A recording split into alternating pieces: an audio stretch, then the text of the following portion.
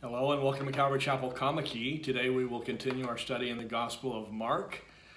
Today we'll be in chapter 15 and uh, it's the 11th of June 2022. So welcome aboard as we continue with the Gospel of Mark and today will be chapter 15. I want to do a, quick review of the previous chapter. So it's been a while since I actually taught that, but I just wanted to go through uh, 14, just some highlights, um, you know, so we can uh, consider the, the context of where we're going. That's always smart to do. We let Scripture interpret Scripture. And so in chapter 14, we see that there's a plot to kill Jesus. Remember, this is his last week in Jerusalem before he goes to the cross. And we've already made the point that he's being scrutinized by the religious people, including the what's called the Sanhedrin, the council of the Jewish religious system. And so there's a plot to kill Jesus. Then we saw in chapter 14 uh, this woman anointing Jesus' body while he's alive. It's almost a picture of where he's on his way to, and that would be uh, the cross and a grave. And so we see that in Bethany. We see that sadly Judas agrees to betray uh, Jesus, and then there's this scene in the upper room. Uh, where we get the uh, what's called the upper room discourse, probably uh, clearly in the Gospel of John. Uh, and uh, Jesus says, One of you will betray me. And then all of them ask the Lord, Is it me? But we see that Judas has in his heart to betray Jesus just for money. And as a reminder, during this week, the whole um, city is full of extra people there to celebrate the feast of Passover and unleavened bread. That's coming up. And so they have what's called or what's known as the Last Supper in the upper room. Uh, and, and so I invited you to do some research to find out, well, what, what did they eat? What did it look like? It's called the Seder, um, and it's, uh, it's the Passover meal. Uh, so we see that in verse 22 and following that Jesus institutes the Lord's Supper, and we connect the dots that it's actually in Jesus' shed blood on the cross that now uh, incorporates, uh, introduces the new covenant in his blood. The old covenant was really based on a sacrificial system with the blood of animals. Jesus now uh, steps on the scene and it's his own blood that will cover all of the sin of the whole world, but especially for those who put their trust and faith in that finished work. And uh, Jesus predicts in verse 27, uh, Old uh, Testament scripture, that him being the shepherd will be uh, stricken and that the sheep will be scattered. And so that comes to pass. And we see uh, that he has prayer time in the Garden of Gethsemane Gethsemane literally means olive press. So it's an olive uh, tree, olive grove. And uh, we see, especially in the Gospel of Luke, that Jesus is uh, in such turmoil that his sweat becomes like uh, drops of blood. And so uh, this idea of an olive press. And then we see the betrayal of uh, Judas in the Garden of Gethsemane uh, still kind of reviewing chapter 14. Uh, then there's these two verses uh, that, that, none of the other Gospels have in verse 51 and 52, and where it says a young man is there uh, and uh, part of the group, and he flees naked, and many would make the case that that is Mark himself, probably a teenager. And then Jesus faces the Sanhedrin, uh, the Council of 70, the religious rulers, and finally, at the end of the chapter, uh, we see that Peter does deny his Lord three times, just as Jesus predicted he would. You know, not just a worldly prediction, but a biblical prophecy that comes to light. Uh, praise the Lord that, you know, God and his love for his creation is always about reconciliation with us. And so we see that that happens with Peter later on. But now we'll uh, make our way to chapter 15. But one of the things from chapter 14, in the upper room, at the end of supper, it says that they sang a hymn. And I left it with kind of a question of, as homework for, for everyone who is interested in that. And, and so we can turn to the book of Psalms and let's look at Psalm 113. Now, starting with Psalm 113, there's a section of scripture that's known as the Hallel Psalms. Um, uh, literally meaning praise the Lord, and that's what how these psalms start many times. Uh, for example, in Psalm 113 it says, "Praise the Lord" is the opening verse. Praise, O servants of the Lord, praise the name of the Lord. Blessed be the name of the Lord from this time forth and forevermore. And these are songs that uh, we know from history that the Jews, when they would be traveling from uh, distant places on their way to Jerusalem for Passover, especially, they're singing these Hallel songs. And so, uh, so when we read, even in our passage in Mark in chapter 14, where they sing a hymn after supper, many would make the case that they sing what is known as the Great Hallel, and that would be Psalm 136. So I'm going to turn there real quick. Psalm 136, I believe it is. Just going to check my notes just, just to make sure I've got that correct. So my notes are back in Psalm 113. And um, I have in my notes that Psalm 136 is known as the Great Hallel Psalm. And this is possibly the psalm that they sang at the end of supper. I'll just read a few uh, verses the Bible says in Psalm 136, Oh, give thanks to the Lord, for he is good, for his mercy endures forever. Oh, give thanks to the God of gods, for his mercy endures forever. So, this repeating line, there's a statement about how good God is, and then the answer is, For his mercy endures forever. Um, I imagine the, the possibility of when you sing that, that they would be like a uh, maybe the men and the women, the, the men would sing a line and the women would uh, call back, for his mercy endures forever, or vice versa. But I'm sure it would be quite beautiful.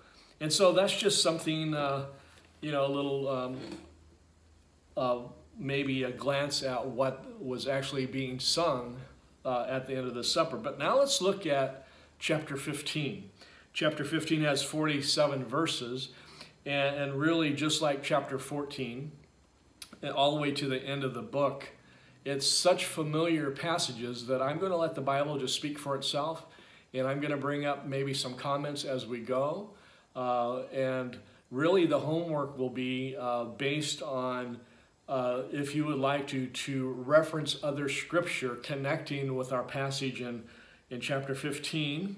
And so, uh, those would be here's some reference uh, places in the Bible, and this is going to be a short list, and you can add to it yourself that you can connect with where we are and where we're going.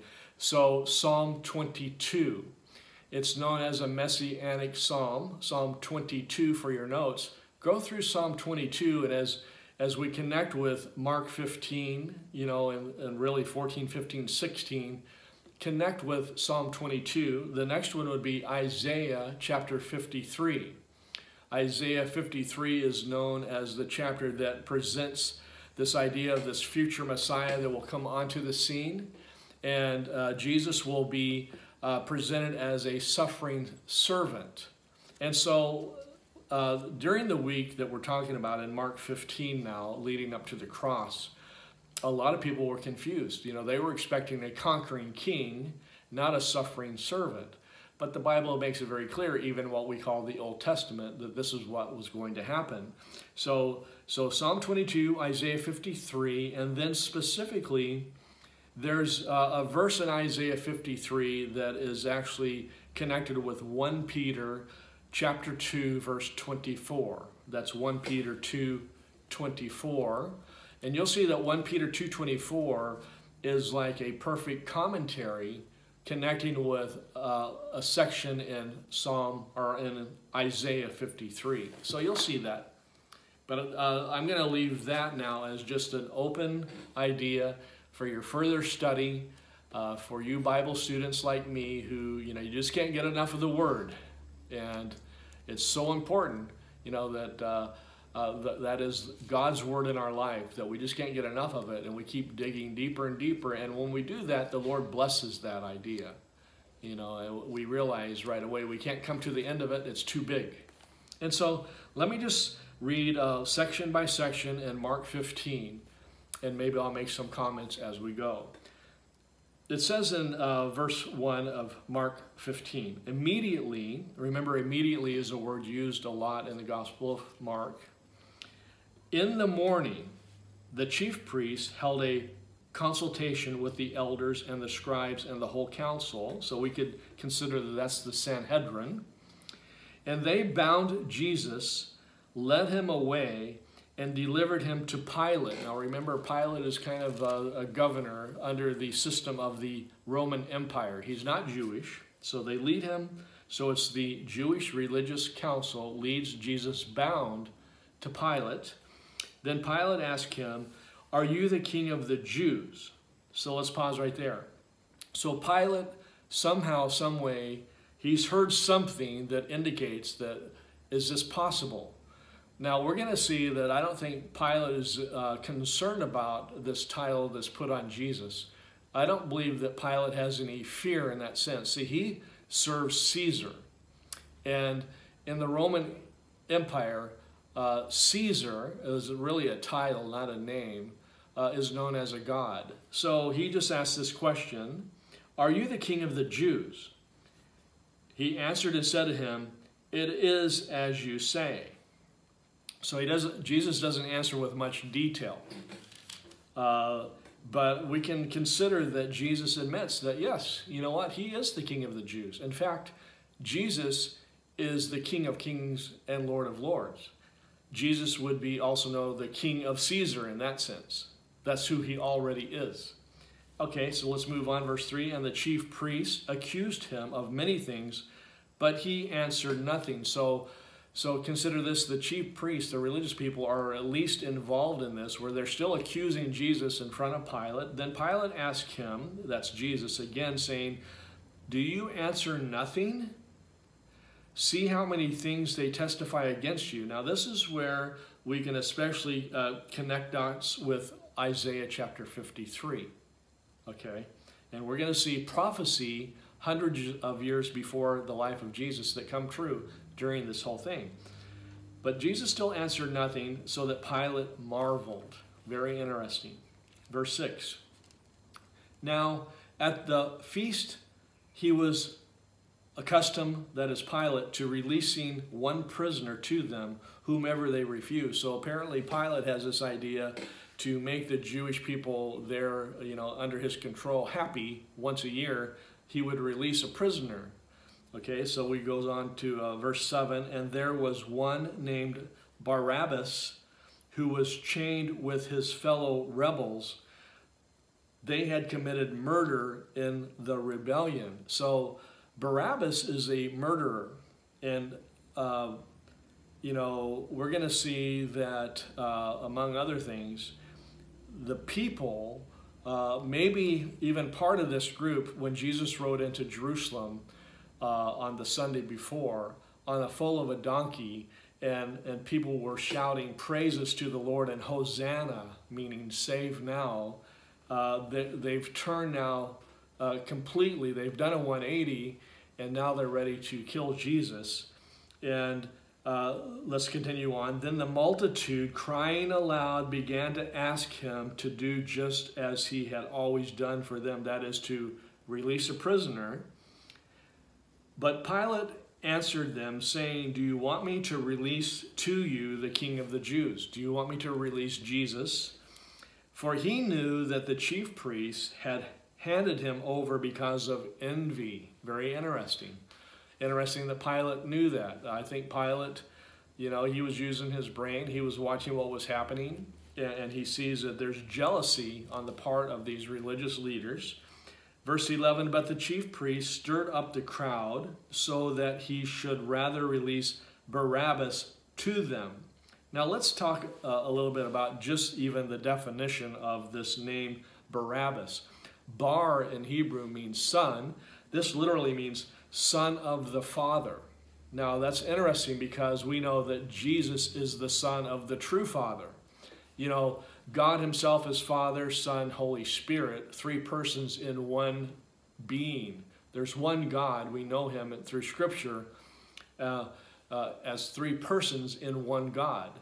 so, uh, so here's this guy who is definitely a criminal. It says that he's already in prison because he's a murderer. And now this crowd is asking for this murderer, Barabbas, son of Abba, uh, son of the Father, uh, to be released. Now, this is a false son of the Father, in a sense. The, the one and only true son of God the Father is Jesus. He's the only one.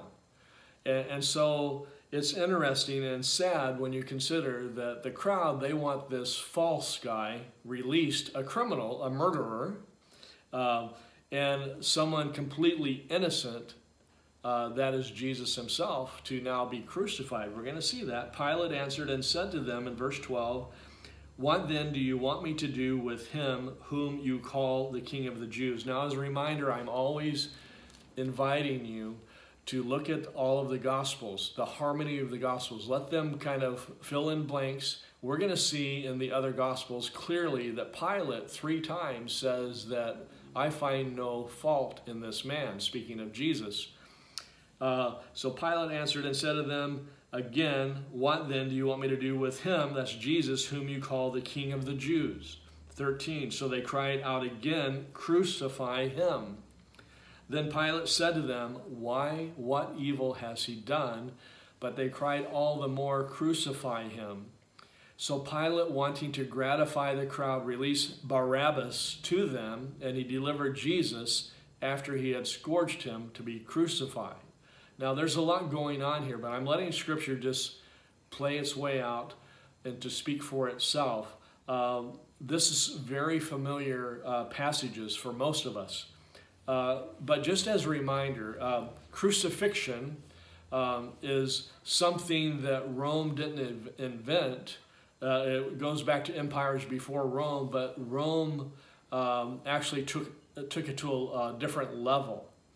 And even leading up to crucifixion, where it says they scourged him in verse 15, we don't need to pass that too quickly. Uh, the scourging was something that actually could kill people. And, and a person was bent over with their backs bared, and this whip was used with, most would say, broken glass, broken bones uh, on the tips of it, um, also known as a cat of nine tails. And uh, they would be whipped or also known as scourged to the point where their back, their flesh is laid open and it would be excruciating. Uh, however, that word excruciating is left for the word crucifixion. That's where we get it. If I'm in, if I would say I'm in excruciating pain, I'm using uh, and I'm connecting with the word crucifixion. That's where that word comes from. So this is lead, leading up to even more pain.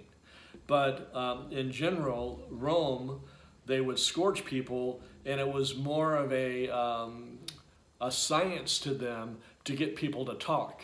You know, they're they're looking for witnesses. They're they're looking for a complete story. You know, something happens and they grab someone who they think is involved in it, and they would scourge them. Now, obviously, it was so painful that people would say just anything to make it stop. They would even admit to crimes they didn't commit. So here's Jesus, and they scourge him. Now, when we connect with Isaiah 53, and, and we've already seen it where Jesus being accused, he keeps his mouth shut. And Isaiah 53 says that clearly in prophecy. Uh, we can consider that Jesus didn't scream out even in the scourging, but we know that it must have been very painful. Okay, so, so there's that. So we've talked about the word excruciating connected with crucifixion, and the scourging is something that we read it in verse 15, and it, it might be easiest just to go through that really quick. But we need to ponder these things. It's something big. Let's look at verse 16 now. Then the soldiers, that would be Roman soldiers, led him away into the hall called the Praetorium. And so that would be kind of the, the headquarters for the governor. And they called together the whole garrison and they clothed him with purple. Remember, purple is kind of a color of deity or royalty, I guess more specifically. And they twisted a crown of thorns and put it on his head. You know, uh, when you consider thorns, and, and uh, we see in Scripture where th the idea of thorns coming into the world was directly connected with sin. When sin entered into the Garden of Eden, then Jesus, or God, pronounces that the even the earth would be cursed, and that that man would work by the sweat of his brow, even tilling the ground, and there would be you know thorns. And so thorns come about, about because of sin and a curse put onto the earth. It's interesting that this whole picture of what Jesus is doing he's actually becoming a curse for us. He's taking the curse upon himself. Even, even our sins themselves, he puts upon himself. And so even the crown of thorns even connects with that. I'll let you look that up in Genesis chapter 3.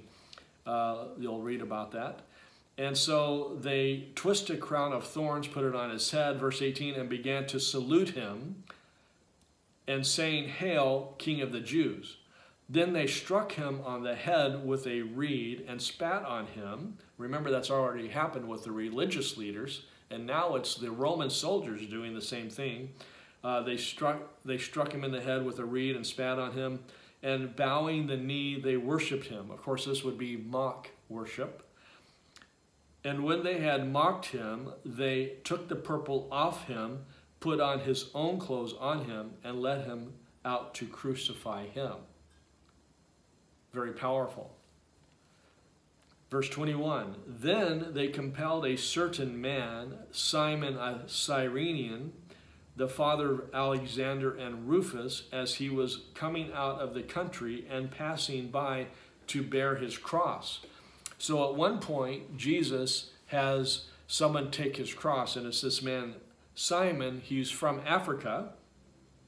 And it says that he's the father of Alexander and Rufus. Now, this looks like, well, uh, you know, there's always a reason why names are brought up, but it, it seems camouflage. So, for your homework, other than now comparing scripture with scripture, and I gave you the references, look up and find out if you can who is Alexander and Rufus. Now, there's going to be at least uh, at least two Alexanders that you know you can find in Scripture. So so keep it in context. See if you can find something. Let even your internet search help you with that. So, so find out, well, who is this guy Simon? Is he, is he mentioned any further in Scripture? So that's number one. And who are his um, sons, Alexander and Rufus? And why, why are they here? And so you might find some interesting uh, information as you do your search. As he was coming out of the country and passing by to Bear's Cross, and they brought him, in verse 22, to a place called Golgotha, which is translated place of a skull. Now, um, Bible students, you, you already know that uh, another word that would be more Latin would be Calvary. You know, we're Calvary Chapel, and Calvary um, connects exactly with Golgotha, meaning the place of a skull. Now, uh, I've been to Israel, and I was so blessed to see the area where they speculate where the cross was. And there's this place where even though the land right there. There's cliffs that uh, actually look like a skull. Now, we don't know if that's why it's called that or not. We don't know if maybe it's where all these terrible crucifixions were happening, and so even uh, bones were left over because we need to know uh, that generally in history, after a crucifixion, they would leave the body out in open air and let the birds and the animals eat away the flesh, and the bones would just stay there. And so maybe it's called the place of a skull because of even that. And so, you know, we don't know for sure, but something to think about. So, Golgotha would translate with the word Calvary. In verse 23, then they gave him wine mingled with myrrh to drink, but he did not take it. Now, this is a mixture that uh, generally you read in history, it's uh, women that would be around uh, the crucifixions they were providing a little bit of mercy for the person being crucified. They, this drink, this mix would dull the pain. But we see that Jesus refused to take that. So um, interesting to think about. Verse 24 And when they crucified him, they divided his garments, casting lots for them to determine what every man should take. And so uh, I gave you the reference of Psalm 22. You can read some connections even with his garments in this situation here, and prophecy. Uh, verse 25 Now it was the third hour, and they crucified him. Now, the third hour, so the first hour would be uh, basically 6 a.m., in the Jewish reckoning, and the third hour would that would make it 9 a.m. Then we're going to see that even uh, noontime is referenced, and even three o'clock in the afternoon will be referenced because there's going to be darkness over over the land. And it says in verse 26, and the inscription of his accusation was written above the King of the Jews. There's more information, a little bit more in the other Gospels that I invite you to connect with and uh, get the bigger picture. In verse 27, it says, With him they also crucified two robbers, one on his right and the other on his left. So the scripture was fulfilled, which says, He was numbered with the transgressors. And that connects with also Isaiah 53, you'll find out. Now, uh, it says here in verse 29 And those who passed by blasphemed him, wagging their heads and saying, Aha, you who destroy the temple and build it in three days, save yourself and come down from the cross. They're taking something Jesus said out of context. Um, he did say that you can destroy this temple, meaning his body, but it will rise again, and that's going to happen on the third day. They take things out of context and twist what Jesus said or meant, and they thought he was talking about the temple, but he's talking about his body. Verse 31 Likewise, the chief priests also mocking among themselves with the scribes said, He saved others, so they know that. They know that He saved others. He healed and in all these uh, miracles that He did. Himself He cannot save. So we can connect uh, in other Gospels that Jesus mentions that there's a certain amount of legions of angels that He could call uh, upon and they would come to save him. But he willingly goes to the cross and he, in his love for us, he takes our sin upon him. So, so no one is actually taking his life. The Lord is laying it down. See, he's on a mission from his Father and he's going to complete it perfectly. Uh, but I'm going to let you, maybe in homework, find out how many legions did the Lord say he could call upon? And then do some extra homework with that question. How many are in a legion? And, and so then in total, how many angels could he call upon? Now, we see in Scripture, especially in the Old Testament, that one angel can do a lot of, um, you could say damage or you could say protection. You know, so it's just something to think about. So they say he saved others, but himself he cannot save. Oh, yes, he could if he wanted to. Let the Christ, now remember, uh, this is an English transliteration that is really based on the Hebrew word uh, we say in English, Messiah, Mashiach. The King of Israel descend now from the cross that we may see and believe. Even those who were crucified with him reviled him. Now, the other Gospels, especially Luke, will give us more information that one of the two that's crucified with him uh, sees that, wait a minute, this is the Messiah. And then he has a conversation with his Messiah and says, Please remember me when you come into your kingdom. And then Jesus says, I, I say today you'll be with me in paradise. Isn't that amazing? So, so what we see here, and maybe we can connect it with our, our little bubble in the world, that not everyone in our uh, bubble will, will come to faith in Christ. But that doesn't change what we're about. See, when we live in obedience, then now we're reflecting the love of Christ with anyone and everyone that comes into our bubble. And regardless of the outcome, I'm outcome, we're just being uh, obedient to the call to be an ambassador of Christ as we're passing through this world that's not our home. Uh, it's up to the Lord to save someone. Uh, he just invites us to be obedient and that we can be used for His glory and for His purposes. And that's what we see Jesus doing. Um, so uh, they reviled him, and then in verse 33, now when the sixth hour had come, so if the first hour is 6 a.m., then the sixth hour would be noon. Uh, there was darkness over the whole land until the ninth hour, and that would be 3 in the afternoon, or military time 1500. And at the ninth hour, Jesus cried out with a loud voice, saying, Okay, so so you have the sixth hour uh, over the whole land until the ninth hour, and then now at the ninth hour, Jesus says, Eloi, Eloi, Lama Sabachthani, which is translated, My God, my God, why have you forsaken me? Now, I've already given a reference of where you might find that, but part of the homework is find it. Find where Jesus uh, is now quoting from Scripture. And, and you're going to find it easily in the references that I gave you already. So he says something very powerful My God, why have you forsaken me? And, and so there's lots of confusion, confusion and, you know, with Bible teachers right now as far as what they're putting out and what this means one thing that I humbly say but boldly that Jesus never stopped being God. So we know uh, our one God that from the Bible is Father, Son, Holy Spirit revealed in Scripture. I absolutely believe that Scripture proves that Jesus never stopped being God. Now there's teaching out there that there was a moment in time where Jesus stops being God. I don't believe that. I don't teach that. Um, and I can say it boldly that Scripture would not even uh, you know, say that either. And so that's how I can be bold about this. But when he says, My God, my God, why have you forsaken me? We see in Scripture that God is perfectly holy. In fact, he invites his creation. Uh, one of the themes of Scripture is that we are to be holy as he is holy. And we realize, well, wait a minute, I can't do that. I can't be perfect. I can't be holy like God. I can't be uh, who God is.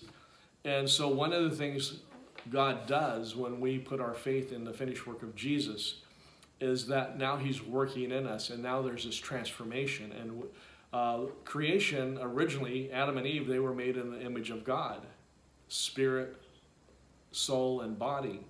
But when sin came in, you know, uh, even Satan, you know, tempting uh, Eve, you know, and he says, You will not surely die, like God said, by disobeying him. Well, I believe that yes, yes, they did, and yes, we did. Uh, when sin came in and we were disobedient in sin, then we we died spiritually instantly, and we started dying physically at that point.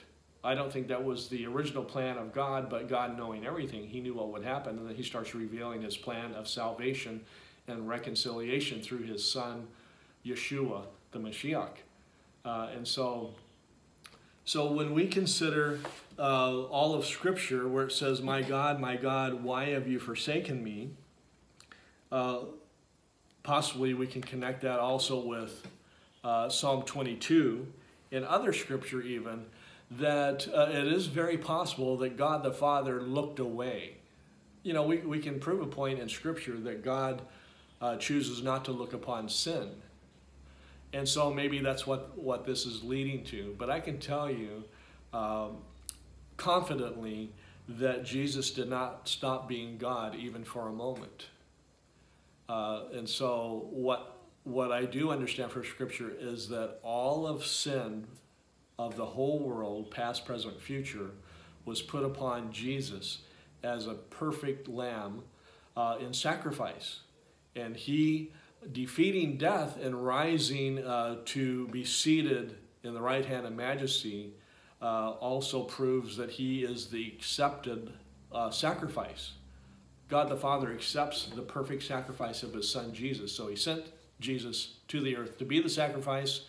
Jesus, being completely God and completely man, goes through uh, perfectly, um, completely his mission rises, ascends into heaven, is seated at the right hand of uh, power, you know, in majesty. And he is the accepted uh, Lamb of God, you know. And so, a lot to think about. And so, let's move on to verse 35. Some of those who stood by when they heard that said, Look, he is calling for Elijah. Now, there's speculation.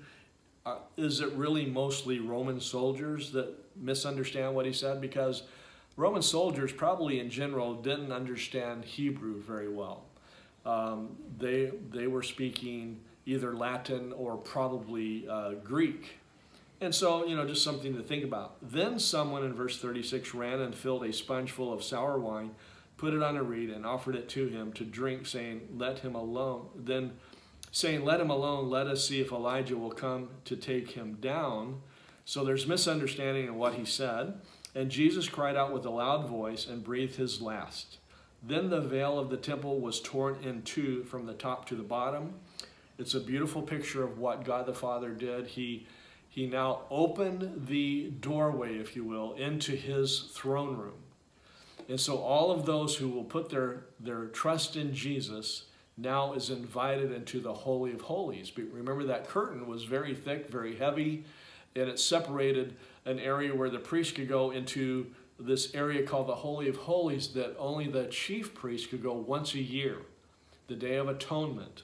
And so now at this point, uh, God has now opened that door uh, uh, perfectly. Uh, one time, uh, it's it's open and available to anyone who would walk in and receive.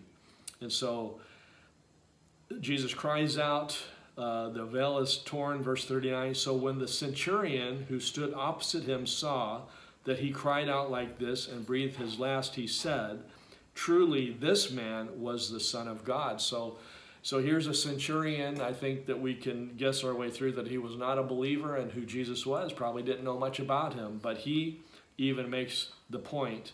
He, he sees something, he experiences something that leads him to believe that this is the Son of God pretty powerful. Verse 40 There were also women looking on from afar, among whom were Mary Magdalene, Mary, the mother of James the Less, and of Joseph, and Salome. Uh, we can connect the other Gospels. We find out that even Mary, uh, the mother of Jesus, was there. We know that. Uh, uh, close enough that there's a conversation between Jesus and her and the Apostle John. And so I'll leave that to you to look up if you're interested.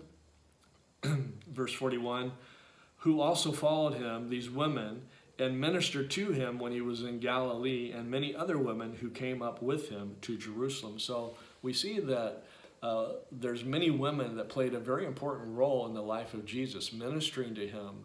You know, and I think that's just a beautiful picture. You know, uh, these women who had a servant's heart, and and uh, you know, it makes you think did they actually hear when Jesus said that I came to serve and not be served? And, and they, they took that upon themselves and, and they followed a life that was uh, helping Jesus, that would be pleasing to the Father. And that should be us as well. And then in verse 42, our last section. Now, when evening had come, because it was the preparation day, that is the day before the Sabbath. So, so there's speculation that this could be like, okay, so you have a Passover, which would also be known as a Sabbath day, but then it's connected with the, the Friday night, uh, the Sabbath. There's preparation not only for the Passover, but also for every weekend, if you want to call it that. Um, that is the day before the Sabbath. Joseph of Arimathea, a prominent council member, so he's one of the council, one of the Sanhedrin, who was himself waiting for the kingdom of God, coming and taking courage, went into Pilate and asked for the body of Jesus. And Pilate marveled that he was already dead, and summoning the centurion, he asked him if he had been dead for some time. So when he found out from the centurion, he granted the body to Joseph. Then he bought fine linen, took him down and wrapped him in the linen, and he laid him in a tomb which had been hewn out of the rock and rolled a stone against the door of the tomb. And Mary Magdalene and Mary, the mother of Joseph, observed where he was laid. Now, so Joseph is a prominent member of the uh, Jewish council. And we can actually connect him through the other Gospels with Nicodemus. Remember Nicodemus of the Gospel of John, chapter 3, and the, and the whole be born again passage, that's Nicodemus. Uh, we see that Nicodemus in the other Gospels will, will be connected with Joseph of Arimathea as they prepare the body of Christ. And it's interesting that, uh, like I said, history would prove that most people that were crucified would just be laying open air. And the birds uh, of the air and the, the animals, whether they're wild or not, would uh, eat the flesh away, and they would just they would just go that way. But we see that uh, also once again there's prophecy that comes true during these passages, and I'm going to leave it to you um, to find out. For example, uh, Jesus being um, you know, between two thieves, two criminals, and then put put in a tomb. You can connect that with some uh, some uh, passages in the Old Testament that were prophecy. And, and so even at the death of Jesus, after he's dead, his body is dead, prophecy is still coming true. So we see that there's well over 350 prophecies of Jesus uh, in his life, uh, in his death, in his resurrection that come true. You know, and we've talked about the chances of that happening are minimal. And so that's chapter 15 of Mark. So I hope uh, that for you Bible st uh, students who like to do a little bit extra, that there's enough in here for you to do. And then if you're not one of those uh, people uh, and uh, you know you're just watching the video, I hope that uh, you're blessed.